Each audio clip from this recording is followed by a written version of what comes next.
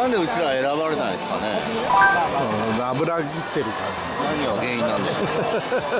コミュニケーションが取れてないからですね。終わりましたね。じ手森さんの、えー本日の神宮飯、えー第3弾つば九郎米弁当でございます。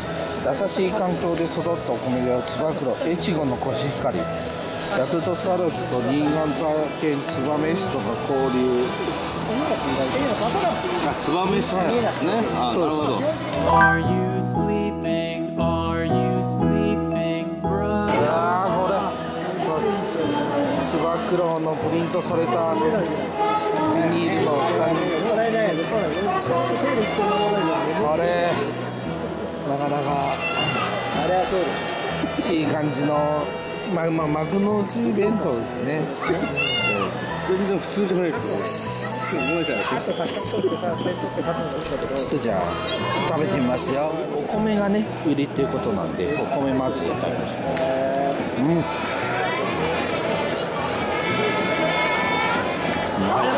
こうする。ああそんなそんなこんなやって。ああそうだ危ない。まあホームランルナルナさんにねホームラン打ったそうなじゃあ煮物ねいただきます。煮物。人参。うん。優しい味付けのね煮物です、うん、たけのこもね。優しい味付けの。たけのこでございますよ。お米がねやっぱ美味しい。うん、うん、コシヒカリねこれは何だろう。鶏肉ですね。鶏肉の、えーアスパラと人参が巻いて揚げてあります。で鮭卵焼きね。手森さん今7回表はい。来ました。あと3回しかないですけど映ってないですけどなんかすごくでも他のとこいっぱいね映ってるんですけどね。なんかここだけ多分ちょっとなんか抜いてもらえない。いい席なのにはい。そんなあれですけどななんですか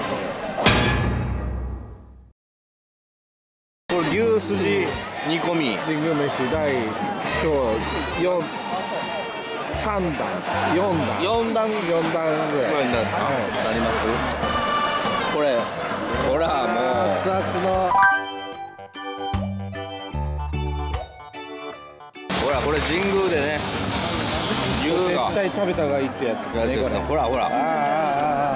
こんなにも。すごい大きい筋が。筋ってますね。ちょっと食べますね。食べますよ筋って。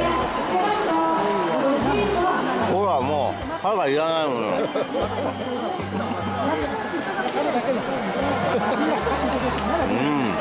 どうですか？歯がいらない、うん、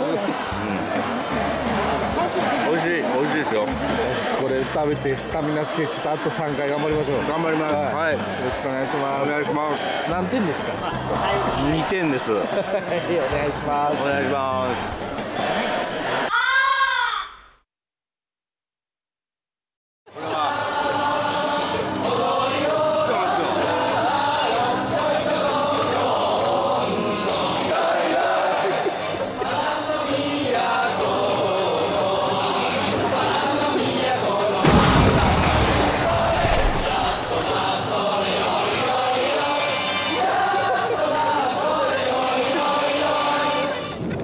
皆さんここだけの話私来週月曜日からカナダに行ってきます。嘘です。ぜひともチャンネル登録お願いします。